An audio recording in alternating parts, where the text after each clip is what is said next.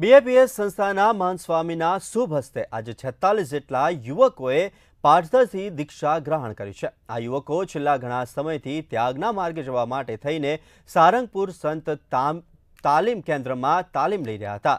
આ યુવકો દીક્ષા લઈને સાધકમાંથી પાર્ષદ બન્યા. આ દીક્ષા લીધા બાદ તેઓ સંસારનો ત્યાગ કરે છે. ત્યારબાદ તેઓ ભાગવતી દીક્ષા લે છે. ત્યારબાદ સંત બને છે.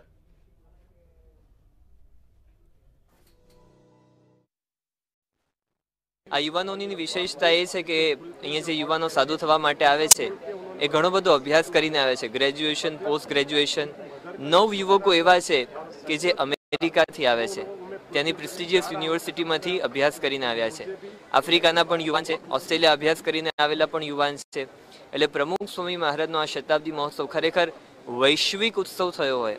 અને આજનો આ દીક્ષા પ્રસંગ એ ખરેખર વૈશ્વિક ઉત્સાહ, વૈશ્વિક દીક્ષા પ્રસંગ બન્યો હોય એવું આપણને લાગે છે, કારણ કે અમેરિકાથી યુવાનો દીક્ષા લે છે, આફ્રિકાથી યુવાનો દીક્ષા લે છે, ઓસ્ટ્રેલિયાથી યુવાનો દીક્ષા લે છે. આજે ત્યાગાશ્રમનો પંથ અને ત્યાગાશ્રમના પંથે સ્વામી શ્રી રહીને સંસારનો ત્યાગ કરીને સંસારની આટલી મોટી સેવા કરી છે અને દરેક પ્રકારની માનવ જાતની ઉત્કર્ષ માટેની સેવા કરી છે.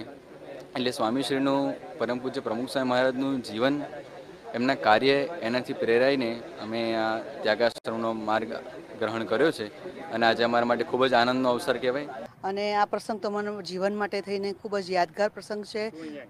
યાદગાર પ્રસંગ થઈ બની રહ્યો છે.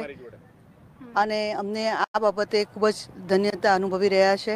અને આવો પ્રસંગ ન ભૂતો ન ભવિષ્યથી આ પ્રમુખ સ્વામી શતાબ્દી જેવો મહોત્સવ જેનો અભૂતપૂર્વ મહોત્સવ ઉજવાઈ રહ્યો છે. અને એમાં દીક્ષા પ્રસંગ એ પણ એવા અભૂત